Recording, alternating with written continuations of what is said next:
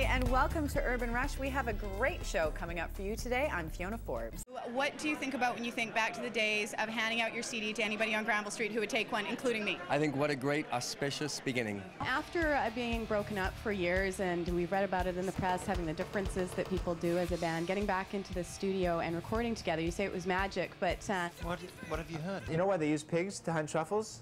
Because the truffle oil resembles the pheromones of, of pigs, and so they think So did I just say I was attracted to a pig by liking the smell of that? Ew. Wouldn't be the first time.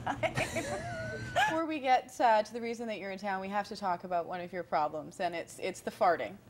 Um, Really? Moby, how are you? Um, oh, oh, that's right. I don't You need have the one. You don't need I've that one. You're a was media whore, you know I that. was leaning in like, I'm fine, thank you.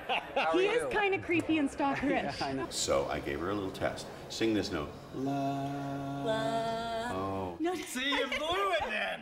I got nervous. That's, oh that's not a three. Oh I'll hold my note until you get there. Okay? You got to come up higher. La. Up higher. La. You're pretty much toned down.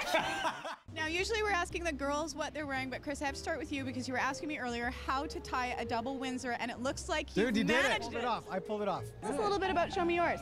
Show me yours is a very Or. I'll show you mine. Well, okay. This is Joni, and well, the only woman in town who can make me look small in certain places. Some people call your yoga classes torture chambers. Not somebody. I called them. And, and what you say about that is that North Americans uh, think of yoga as something to just be passive and sit there and not do anything. But your classes are a workout. Love it. Oh, head up, head up, touch your forehead. Touch your forehead. Touch your, my- fo- touch my touch your forehead on the floor. with my what? Come on, open your legs. Open your You're legs. so No, no, no, bossy. no, no. Can you show me like w- one pussycat move that I can, you know, impress people with? Are you ready?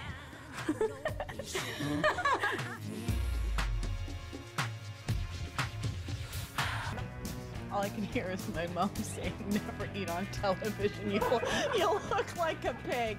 Hi, mom. Look, Mom, you said you'd never see me in a wedding dress. know the power of the dark side. You will fall madly in love with me.